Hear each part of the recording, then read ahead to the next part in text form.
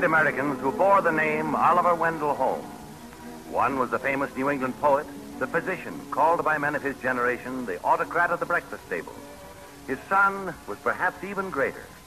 The story of the second Oliver Wendell Holmes is not so much the record of a man's life as the development of a man's mind. And it is this story of one of America's paramount legal philosophers and scholars that the Cavalcade of America tells tonight. The late Mr. Justice Oliver Wendell Holmes of the United States Supreme Court.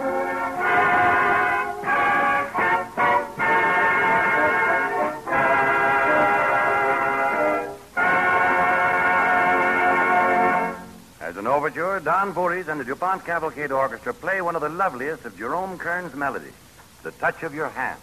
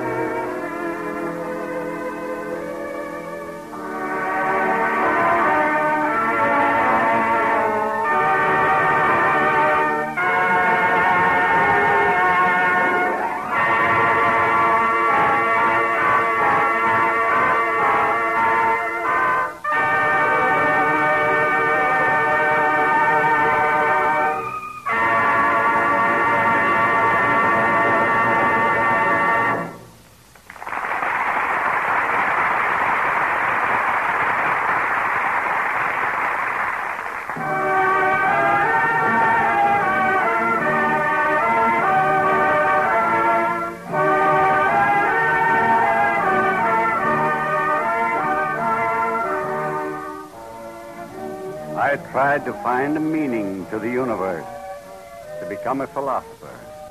But I decided that the universe is too great a swell to have a meaning. My career is in the law, to think, to make plainer the way from something to the whole of things, and so, perhaps in some measure, to make my universe more livable. Thus spoke Oliver Wendell Holmes, to whom the law was something more than dry briefs and opinions. It was a human living thing, and his concept of it was his chief legacy to the men of his time. But Oliver Wendell Holmes left another legacy, one only a few men, once his intimates, would now remember. And it was but three short years ago that a curious footnote was written to the career that had just come to a close with the passing of Associate Justice Holmes. In the offices of a newspaper in Washington, D.C., a 70 year old colored man found his way to the classified advertising desk. I'd like to put a piece in your paper about a kindly man who was a friend of me. He died a year ago today. Obituary, of course. Can I help you write it? That would be right kind of you, sir. All right. Uh, what shall we say? In memoriam? Yes. And what is the name of the deceased? Oliver Wendell Holmes. Uh, did you know him? Well, no, not personally. I guess there's not many people left who did know him personally, but I did. I was his messenger when he was on the Supreme Court bench. Oh, I see. Mr. Holmes was the kindest, wisest human man that ever lived. I- I'd like to say something about that in the advertisement. Well, perhaps in memoriam is too formal. How about in remembrance? In sad remembrance. In sad remembrance of the late Associate Justice of the Supreme Court, Oliver Wendell Holmes. Yes, sir. Who passed to his reward one year ago today, March 6, 1935. And I, I wrote down a little saying here. I'd like you to print that, too. Of course. Death is the gate to endless joy, but we dread to enter there. And I'd like for you to print my name, printed like this. His old messenger, Arthur A. Thomas. Arthur A. Thomas. Yes, sir. Did Mr. Holmes' family send you down to put this in? Mr. Holmes has no family, sir. All his kinfolk is dead. But I counted the days since he's gone. And this is the first anniversary since he died. He would have been 94 years old.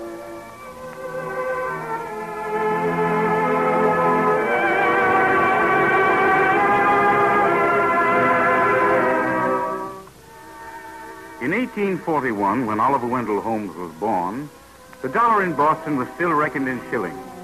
Quill was being used instead of the fountain pen, and the canary yellow coaches of the Concord stage took two days to go from Boston to New York. The postage on a letter was 18 and three-fourths cents for a single sheet, and double that if there was an enclosure. Some Boston families still had slaves, but the abolitionist movement was already growing in New England, and the idea would have shocked the first Oliver Wendell Holmes, who March 9th, 1841, sent out this announcement to his friends. Last evening, between 8 and 9, there appeared at number 8 Montgomery Place in Boston a little individual who may be hereafter addressed as O.W. Holmes, Esquire, or the Honorable O.W. Holmes, Member of Congress, or His Excellency O.W. Holmes, President of the United States, but who for the present is content with scratching his face and sucking his right forefinger.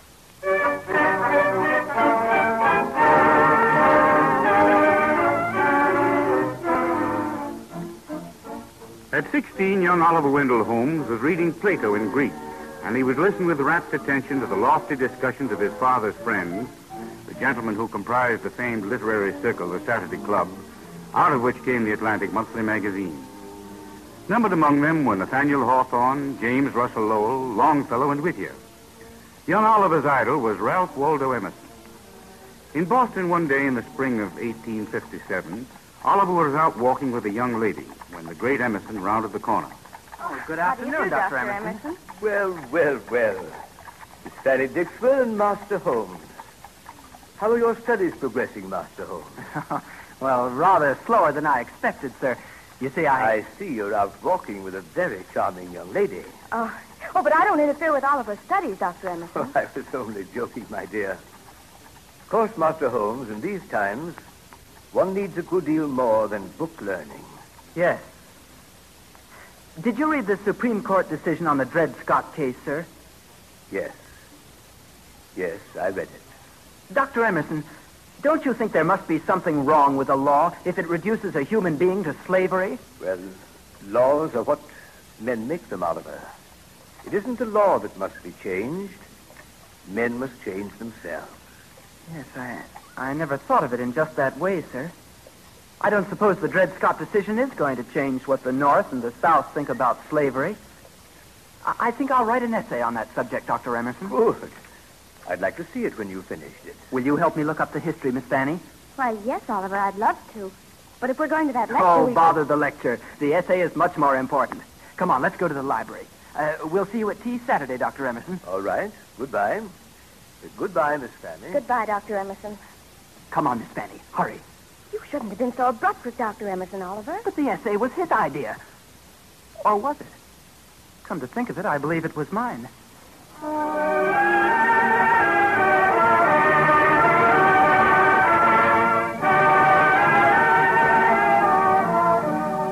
The Civil War marked the turning point in the development of the mind of Oliver Wendell Holmes. From the sheltered, bookish Boston environment of his childhood, he was thrust into a world of violent action.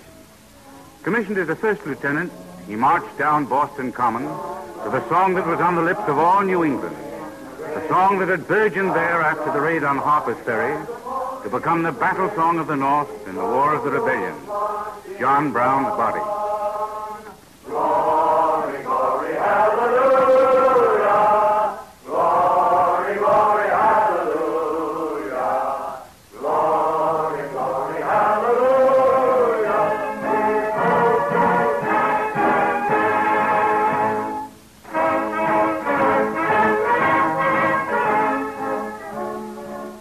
Down to Washington in cattle cars, and young Lieutenant Holmes could hardly wait to get into the fighting. You could already hear the yebble, rebel yells drifting across the Potomac. When you going to Richmond, Yankee? And the reply, the day you go to Washington, Johnny Reb. But by the time Oliver Wendell Holmes had gone to Leesburg, he knew what war was about. At Ball's Bluff, a minie ball pierced the breast of Lieutenant Holmes. Then a month later at Chancellorsville, thrice wounded Oliver Wendell Holmes, a captain now, reported to General H.G. Wright. Captain Holmes, I'm assigning you to lighter duty from now on. I think you've stopped enough bullets for your share. Lighter duty, sir? Yes, there's an important visitor from Washington in camp this afternoon. You're to show him around. Oh, yes, sir. Of course, sir. Attention! Here he is now. Carry on, sir. I. Uh, oh, gentlemen. At ease, if you please. This is Captain Holmes, Mr. President, assigned to show you around the camp. Pleased to meet you, Captain Holmes. Yes, sir. I I mean, thank you, sir. I, I. Shall we start the rounds, Captain? Yes, sir. At once. A few minutes later, young Captain Oliver Wendell Holmes was talking more easily with a tall, amiable visitor from Washington. For the angular, stovepipe hatted man he was assigned to show about the camp was Abraham Lincoln. How long have you been in the service, Captain Holmes? About three years actual fighting, Mr. President. Oh, it's a terrible thing. All this bloodshed. I pray God we won't see much more of it. It's strange, you know, sir. When it's quiet like this, it's hard to believe that it's still going on. Oh, listen. They're bringing up the artillery over there now. Does that mean fighting tonight? They're closer than I thought. Better duck down, Mr. President. Down, hurry. I'm afraid I didn't quite catch what you said, Captain. Down! Down on your belly, you fool!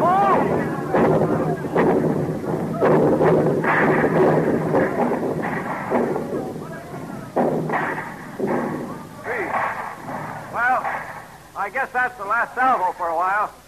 There I am. There I get up now? I imagine it's safe now, Mr. President. I'm sorry about speaking that way. You understand, I, I didn't mean to be rude. On the contrary, Captain Holmes. I'm glad to see you know how to talk to a civilian.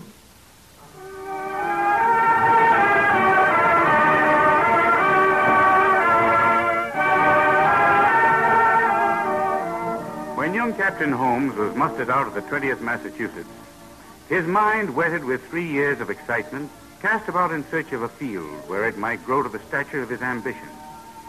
When he took his degree at the Harvard Law School, his incisive mind had already won him recognition in his own right. But his restless mind was looking for something more. And his search took him to England. There he met two young men, Frederick Pollock and Frederick Maitland, who would have become his fast friends and were to do for English law what Holmes did for American law. Night after night, Oliver would sit with them, talking far into the morning. The Trouble with the law in America is your creaking constitution, Holmes. Here in England, there's some hope. Yes, Maitland means you've got it all on a piece of paper written sometime in the 18th century. How can you help to progress over there? Well, gentlemen, take the Dred Scott decision. Rather makes it plain that the Constitution is what the judges say it is. Here in England, the Constitution is what Parliament says it is. Which is the more democratic, Holmes? I don't know. It seems to me that you, Maitland, and I are driving at more or less the same thing. We've got to fit it into different systems. That's all. But how is it to be done? Not by sitting in our law chambers over in the temple and hanging out those little shingles. Indeed not. No. But I am reasonably sure of this. No one can cut out new paths in company. He does that alone. Maybe when we've done that and have turned our misgivings into success, we will be masters of ourselves. Perhaps that is the secret of achievement.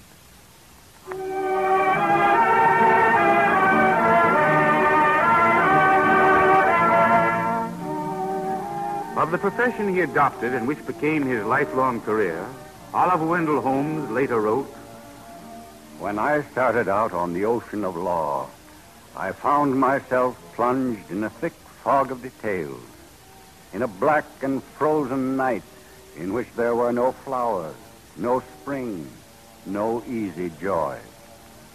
Voices of authority warned that in the crush of that ice, any craft might sink.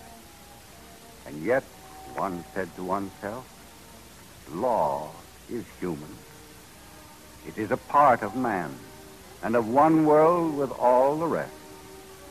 There must be a drift if one will go prepared and have patience, which will bring one out to daylight and a worthy end.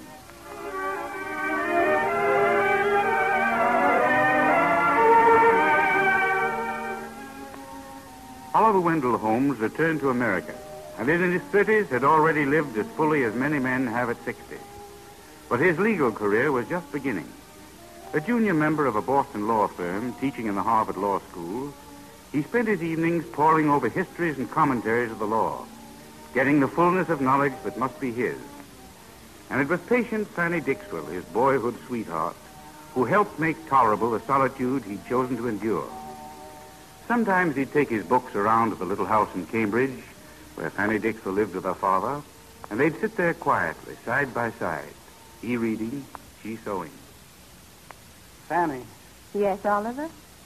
something just occurred to me. Yes, Oliver. Uh, Russian came into the office today. Oh? He said that in the middle class of Russia, there were specialists. In the upper class, there were civilized men. He thought America was terrible. Didn't like it here at all. But why? Because he's only a civilized man. Oliver, I didn't follow that at all. But don't you see? A civilized man who's nothing else wouldn't like it here. But if a man is a specialist, like, uh, say, a lawyer, well, he has to be civilized, too. Does he? I mean, he has to have at least a knowledge of the essentials of all the other arts and sciences. That gives him tolerance. Trouble with a fellow like this Russian, he's not in it. Looks down on it all, like most judges. You know, Oliver, I think that would make a good lecture for your class at law school. You really think so? Yes, I think it's an exciting idea. Then I'll use it. I don't see how I'm ever going to get all this done this week. This lecture, Stevens' case, and I promised to finish that paper on common law for the review. Oh, and I just happened to think of something really terrible. What is it, Oliver? Well, I've been so busy, I. I clean forgot to ask you to marry me. I know, Oliver. But perhaps it's not too late. You mean you will marry me? Course I will, Oliver.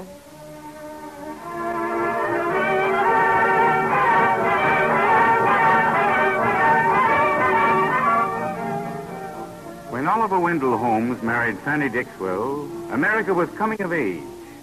A liberal philosophy and jurisprudence began to illumine our punctilious legal scene, as with penetrating clarity the mind of Oliver Wendell Holmes led him to write his great commentary, The Common Law. Led him at 41 to ascend the bench of the Supreme Judicial Court of Massachusetts.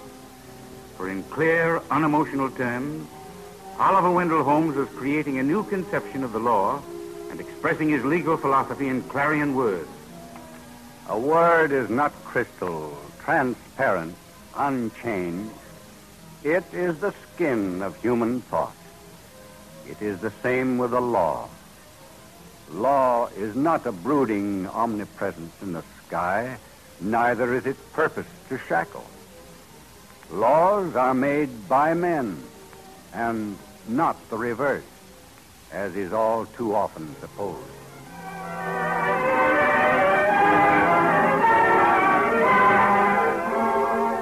As the legal stature of Oliver Wendell Holmes attracted nationwide attention, one day after the turn of the century, to the chamber of the United States Senate went a presidential note. I nominate for Associate Justice of the United States Supreme Court Oliver Wendell Holmes of Massachusetts. Signed Theodore Roosevelt.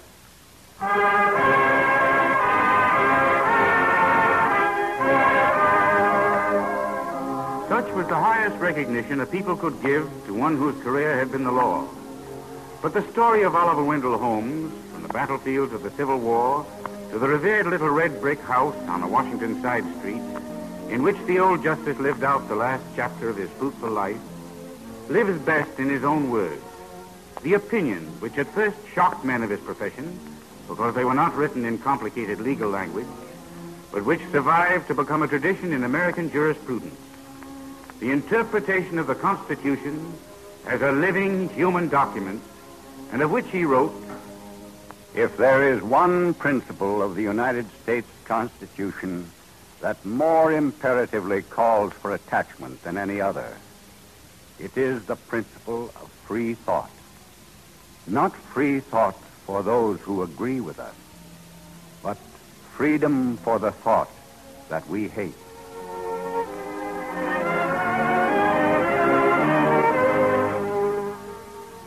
One afternoon in January 1932, at the end of the day's business, 90 year old Mr. Justice Holmes gathers up his briefs and follows the Chief Justice from the gray walls and marble pillars of the chamber of the United States Supreme Court.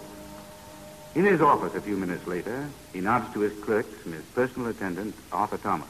Let me help you with the robe, Mr. Holmes. Thank you, Arthur. And one thing more. Yes, sir. I shall want to take home those books between the ends there. The Plato and the two Latin volumes. Yes, sir. Oh, Mr. Holmes, I just stopped to say good night. Oh, uh, good night, sir. Good night, Mr. Holmes. Good night, Good night. gentlemen. Good night. Will you be wanting anything else, Mr. Holmes? No, Arthur. I'll be going along now. And goodbye, boy. I. I won't be down tomorrow.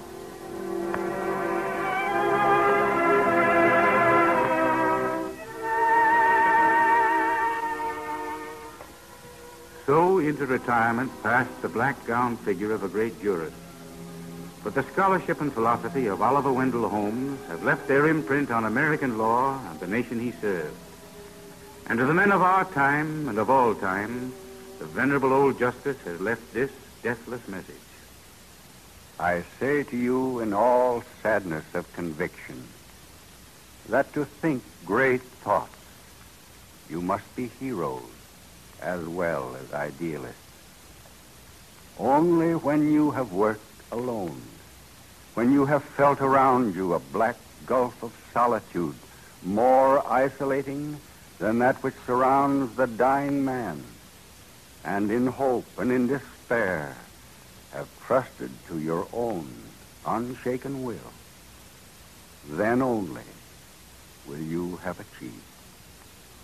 Thus only can you gain the secret, isolated joy of the thinker who knows that a hundred years after he is dead and forgotten, men who never heard of him will be moving to the measure of his thought.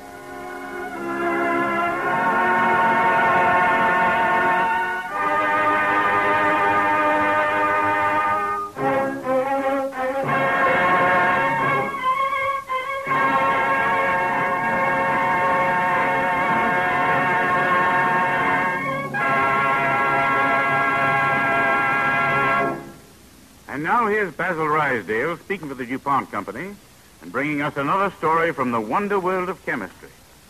The other day, after a friend of mine parked his car at the New York World's Fair, I called his attention to the rainbow of bright and handsome colors on the cars in that vast parking space. That's a good sign, he said. And then he told me why. Automobile manufacturers find that brightly colored cars gain in popularity in prosperous years. That interesting bit of information was a new one for me, but I was able to show him a lot of amazing things about paints and finishes by taking him over to the Wonder World of Chemistry building. One of the many fascinating sights there is a demonstration of tests given to finishes such as those used on cars. The thin film of protection created by finishing materials put on a car is really quite a sturdy suit of protection. It's sufficient for the life of your car under ordinary usage and given a reasonable amount of care. I wonder if you've ever thought of the punishment the paint on a car takes from dust and gravel, rain, snow, ice, and hot sunshine. At the Finishes Laboratory in DuPont's exhibit at the fair, chemists show you how they make sure that finishes can take such punishment and come back for more. The astounding tests performed there before your very eyes tell why modern cars continue to look so well after thousands of miles of hard travel. A real tribute to the chemists who developed modern finishes. 25 years ago, it took three weeks to paint a car and required many coats of slow drying paint. In spite of this slow, expensive process, the finish didn't last. Even as recently as 1922, painting a car took as long as 10 days. Then DuPont chemists perfected Duco lacquer and revolutionized finishing methods. Today, it's a matter of a few hours to paint a car, and the finish lasts for years. This increase in the speed of painting and drying was a big factor in lowering the cost of automobiles. Most modern automobile finishes are put on with spray guns and the whole job has been reduced to a quick, efficient science. New finishes on old cars are applied by the same methods as used in the factory. In fact, authorized refinishers are able to give you an exact match for the color that came on your car when it was new. DuPont chemists manufacture over 570 different shades, which make it possible to satisfy any color preference. After one visit to the world of chemistry at the New York World's Fair, you'll be bubbling over with remarkable facts just as I am about finishes for home and industrial uses, about plastics and rayon, cellulose film, dyes and perfume, and dozens of other miracles that come out of the chemist's test tube. Wonder World is a good name for it, and the DuPont Pledge is a good slogan for it. Better things for better living through chemistry.